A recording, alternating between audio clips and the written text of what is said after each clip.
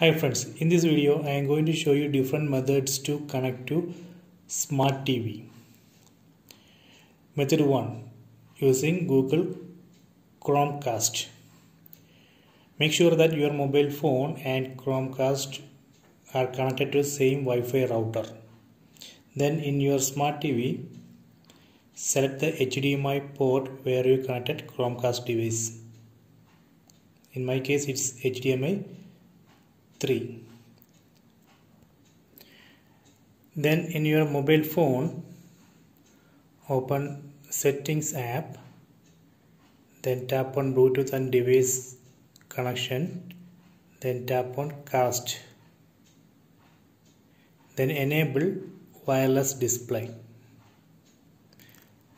Tap on enable display. Now you can see the chromecast tv tap on that. Then tap on start now.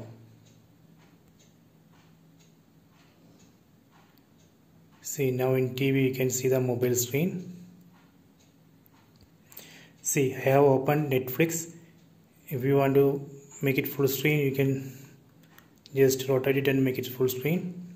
So this way we can play Netflix Amazon Prime YouTube those things in your mobile phone and share it with your smart TV screen. So this is the method 1. Let me go to method 2. So method 2 is using Miracast. If your TV support Miracast, make sure that your TV and mobile phone are connected to the same Wi-Fi router. So in your TV, open Miracast. See it's waiting to waiting the user to connect then take the mobile phone. So we need to do the same thing. Open settings app. Then tap on bluetooth and device connection. Then tap on cast. Then enable wireless display. Enable it. Then please wait. Now you can see smart TV tap on that it's connecting. So you can check the TV